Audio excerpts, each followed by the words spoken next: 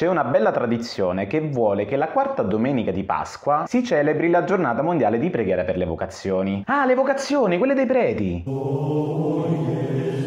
Ma in realtà vocazione viene dal latino vocare che significa voce. E infatti in questa domenica si legge sempre la parabola del buon pastore che chiama le pecore con la sua voce. Ebbe!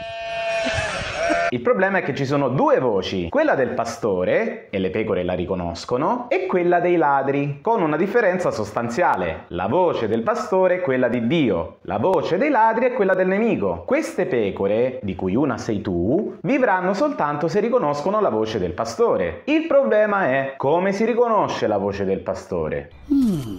Ci sono cinque aspetti da considerare. Il primo, questa voce ti parla sempre di ciò che desideri. Voglio diventare un Jedi come mio padre. Dio non ti va a chiedere una cosa che non vuoi. Quella è la voce del nemico. Vieni con me. Il tuo desiderio è importante e Dio ti parla di quello, non di un'altra cosa. Secondo, questa voce ti chiede un percorso difficile che costa sacrifici. Un Jedi deve avere profondissimo impegno. Perché le cose belle sono sempre costose, no? Se ti viene chiesta una cosa facile, Forse è la voce del nemico. Insieme potremo governare la galassia. E poi se una strada è più complicata, c'è anche più soddisfazione ad arrivare alla meta. Terzo, questa voce ti propone sempre qualcosa per gli altri. Amici ai tulli. Anche perché Gesù è il primo che si è dato per gli altri. Non ti chiede mai una cosa per te stesso, se no è troppo facile. Non mi deluda anche lei. Te la suoni e te la canti. E poi che ci guadagni, scusa? Perdi tutti gli altri. Quarto, questa voce ti assicura una pace interiore.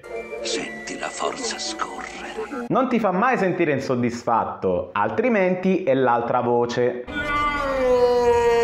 quella del nemico. Quinto ed ultimo, questa voce ti manda sempre da una persona adulta che ti sa aiutare. Sarai istruito da Yoda. Tu alcune scelte non sei capace a farle, hai bisogno di parlarne e se ti abbandona a te stesso significa che è l'altra voce. Devo affrontarlo da solo. Vabbè, ma tutte queste voci dove le sento? Io non sento niente. Un documento del Concilio Vaticano II che si chiama Gaudium et Spes, al numero 16, dice che la voce di Dio risuona nell'intimo del cuore ed è lì che si riconosce la sua voce perché il recinto delle pecore è il tuo cuore. La voce di Dio risuona dentro di te, sta nei tuoi desideri. Ecco perché ti parla di ciò che desideri. Ma stai attento, perché nel tuo cuore c'è anche l'altra voce e ti può allontanare da quella vera, perché alla fine la nostra vocazione non viene dall'esterno, viene dall'interno, ce l'abbiamo dentro e non è possibile fraintenderla. Si riconosce sempre.